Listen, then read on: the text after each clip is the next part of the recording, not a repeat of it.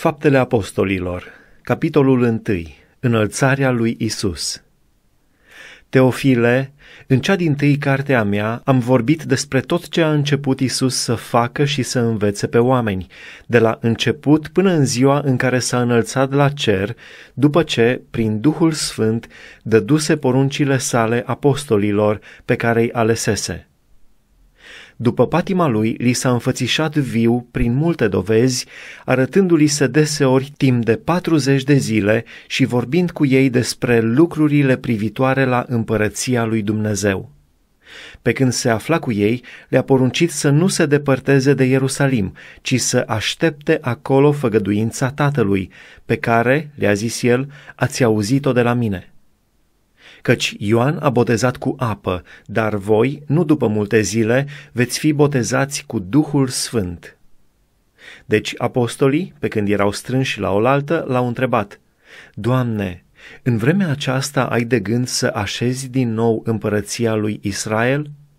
El le-a răspuns, Nu este treaba voastră să știți vremurile sau soroacele. Pe acestea Tatăl le-a păstrat sub stăpânirea sa ci voi veți primi o putere când se va pogorâ Duhul Sfânt peste voi și îmi veți fi martori în Ierusalim, în toată Iudeea, în Samaria și până la marginile pământului. După ce a spus aceste lucruri, pe când se uitau ei la el, s-a înălțat la cer și un nor l-a ascuns din ochii lor. Și cum stăteau ei cu ochii pironiți spre cer, pe când se suia el, Iată că li s-au arătat doi bărbați îmbrăcați în alb și au zis, Bărbați galileeni, de ce stați și vă uitați spre cer? Acest Isus, care s-a înălțat la cer din mijlocul vostru, va veni în același fel cum l-ați văzut mergând la cer. Întoarcerea apostolilor atunci ei s-au întors în Ierusalim din muntele numit al măslinilor, care este lângă Ierusalim, departe cât un drum în ziua sabatului. Când au ajuns acasă, s-au suit în odaia de sus, unde stăteau de obicei.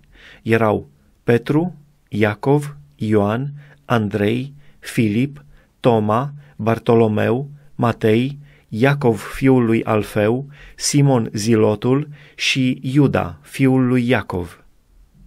Toți aceștia stăruiau cu un cuget în rugăciune și în cereri, împreună cu femeile și cu Maria, mama lui Isus și cu frații lui.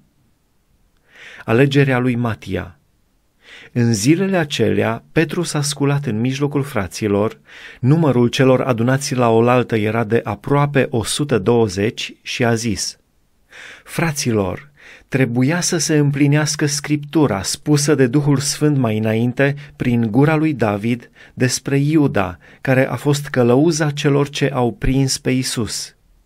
El era din numărul nostru și era părtaș al aceleiași slujbe. Omul acesta a dobândit un ogor cu plata nelegiuirii lui, a căzut cu capul în jos, a plesnit în două prin mijloc și i s-au vărsat toate măruntaiele.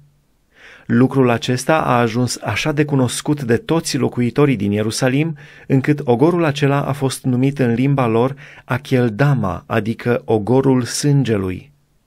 În adevăr, în cartea psalmilor este scris, locuința lui să rămână pustie și nimeni să nu locuiască în ea, și slujba lui să o ia altul.